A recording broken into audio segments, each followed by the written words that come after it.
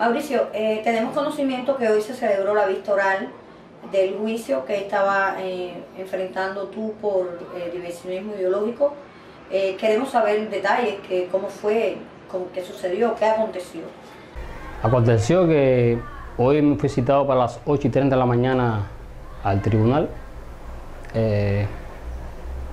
Ahí estuve alrededor hasta la 1 de la tarde, que fue cuando me llamaron para celebrar el juicio. Eh, el juicio duró alrededor de unos 25 o 30 minutos, no más. Yo no quise poner abogado.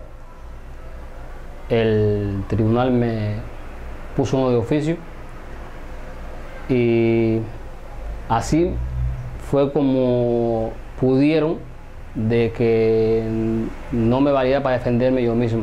Traté de defenderme en varias ocasiones me mandaron a callar cuando me dieron la palabra. Solo me dijeron que tenía que contestar las palabras que hacía la, fiscal o la jueza o el estrado que estaba presente en ese momento. Eh, de lo contrario, si van a haber la obligación de sacarme eh, y tomar las decisiones por el delito de lo cual me están acusando a mí y, la, y imponerme la sanción que ellos vieran conveniente, que fuera justa para lo que ellos me están acusando a mí. Yo pensé que por el problema de lo que estaba pasando, el juicio se iba a extender quizás dos horas y más. Apenas duró 25 o 30 minutos. ¿Pudieron estar tu familia, tus No, amigos no. contigo dentro de la, del- de la sala?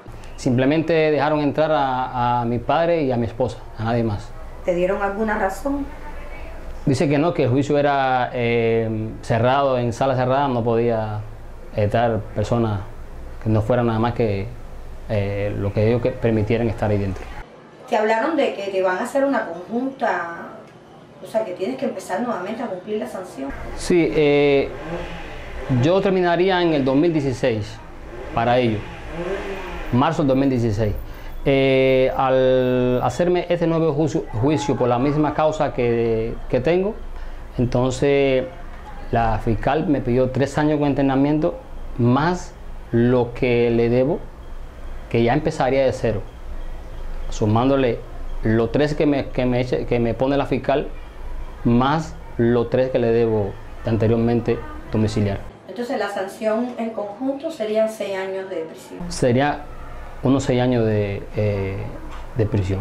En el transcurso de la vista oral te acusan directamente de, de- de diversionismo ideológico. ¿Qué razones te dan ellos para decir que tú, eh, o sea, que es diversionismo? Ellos refieren que es diversionismo ideológico por la razón de que yo le estoy transformando la mente al pueblo, con ponerle, prestar un servicio eh, estadounidense aquí dentro de la isla, que no está permitido ni tengo cómo pagar un impuesto al Estado de, para yo poder ejercer este tipo de trabajo. Y para ello, como es ilegal, es penalizado para ello. Pero tú le ofertas a la población programas de participación y noticias. ¿Eso es lo que ellos llaman diversionismo ideológico? Para ellos parece que esto es lo que llaman ellos diversionismo ideológico, cosa que yo intenté decirle, aclararle a ellos que funcionarios de este país y en hoteles eh, de este país, casi en todas las instancias de hotelería y turismo, existe la red de, de antenas y que se presta servicio para los extranjeros y para cubanos que están dentro del centro.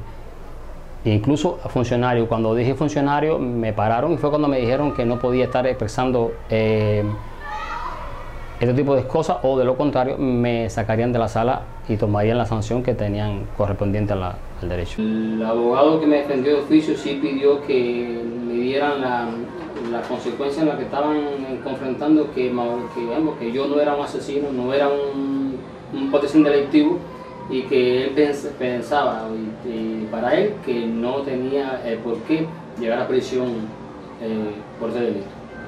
Estás pendiente de recoger tu sanción. El día 30 de, de diciembre eh, voy a recoger la sanción